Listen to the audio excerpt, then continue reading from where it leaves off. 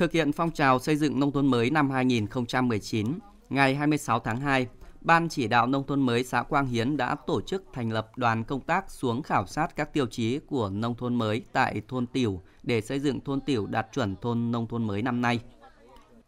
Thôn Tiểu xã Quang Hiến được lựa chọn để xây dựng thôn đạt chuẩn thôn nông thôn mới năm nay. Để thực hiện hoàn thiện các tiêu chí, Ban chỉ đạo nông thôn mới của xã đã thành lập đoàn công tác trực tiếp cùng với ban thôn thành lập các tổ để đến từng hộ gia đình khảo sát, nắm lại toàn bộ các tiêu chí, nội dung phần việc cần thực hiện, đánh giá lại các tiêu chí đã đạt và chưa đạt.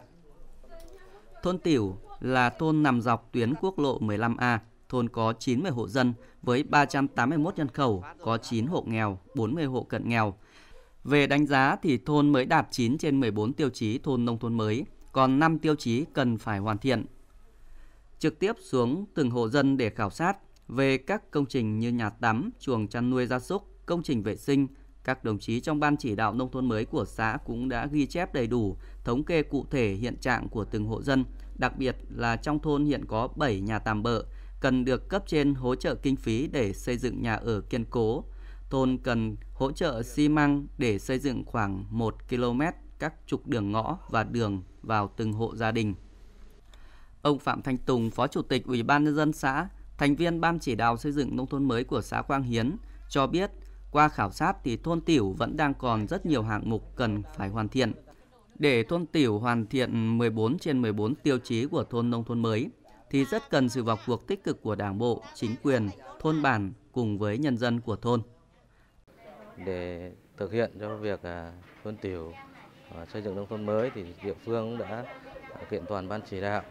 rồi thành lập các tổ công tác, à, tổ hỗ trợ thôn để thực hiện à, hoàn thành các tiêu chí đã đặt ra. Thì qua đánh giá giả soát thì hiện tại à, thôn Tiểu đã hoàn thiện được 9 trên 14 tiêu chí là thôn nông thôn mới còn 5 tiêu chí còn lại về thu nhập, về hộ nghèo, về nhà ở dân cư và vườn hộ, điện, vệ sinh an toàn thực phẩm và môi trường. Chúng tôi cũng đã xây dựng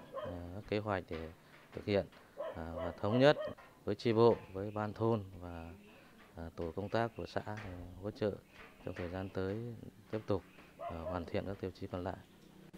Ngay sau đợt khảo sát này, Ban chỉ đạo nông thôn mới của xã Quang Hiến sẽ tổ chức họp lên kế hoạch cụ thể để chỉ đạo thôn tiểu bắt tay ngay vào thực hiện với phương châm dễ làm trước, khó làm sau, nhân dân cùng đoàn kết phấn đấu để hoàn thiện các tiêu chí còn lại, sớm được công nhận thôn đạt chuẩn nông thôn mới vào cuối năm nay.